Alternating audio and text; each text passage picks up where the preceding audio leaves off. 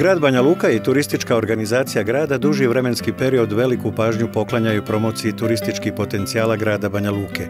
Tim povodom u sklopu manifestacije Proljeće u Banja Luci 19. i 20. aprila ove godine u Kulturnom centru Banski dvor organizovana je druga međunarodna konferencija turizma.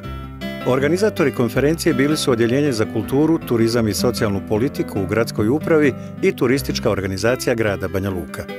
Cilj organizovanja konferencije je povećanje obima poslovanja u turizmu Banja Luke kroz animiranje potencijalnih tur operatera, promociju turističke ponude i turističkih mogućnosti Banja Luke, kao i umrežavanje potencijalnih poslovnih partnera u turizmu.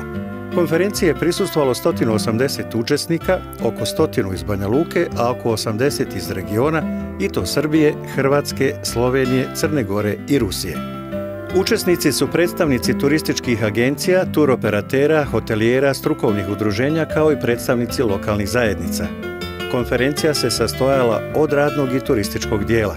Prvog radnog dana konferencije kroz tri panela obrađene su tri teme i to destinacijski menadžment, receptivni turizam i saobraćajna povezanost, a govornici su bili iz Banja Luke, regiona Europe i Amerike. Zaključci konferencije su da su glavne komparativne prednosti ove destinacije priroda i ljudi, tačnije ljubaznost i gostoprinstvo ljudi na ovim prostorima. Drugog dana konferencije učesnici su imali priliku da se upoznaju sa turističkom ponudom našeg grada i dožive Banja Luku kao turisti. Organizovana je šetačka tura razgledanja grada, rafting na rijeci Vrbas, posjeta Krupina Vrbasu i etno selu muzeju Ljubačke doline. Prema mišljenju učesnika bila je ovo i više nego uspješna konferencija koja je opravdala očekivanja i koja je postigla cilj koji su organizatori pred sebe postavili.